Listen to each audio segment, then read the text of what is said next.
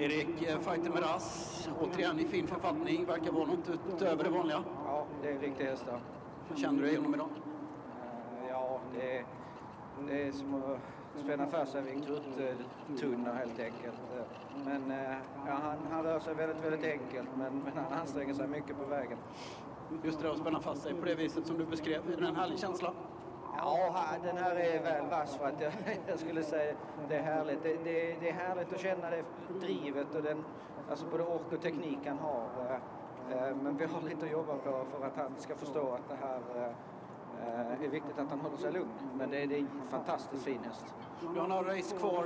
Ritios, som du känner väl, vad säger du på V86? Jag tycker det är ett, både jag och ägaren tycker att det är ett tufft läge. Det är klart att tar man tre, fyra stycken så är han en av dem. Men han kommer gå med skor idag, eh, eller eh, vanlig vagn idag eh, med skor. Jag tror på sikt kan vi nog dra skorna, men vanlig vagn idag och det läget gör att han är en outsider tycker jag. Vi säger grattis Erik och lycka till framöver. Tack så mycket.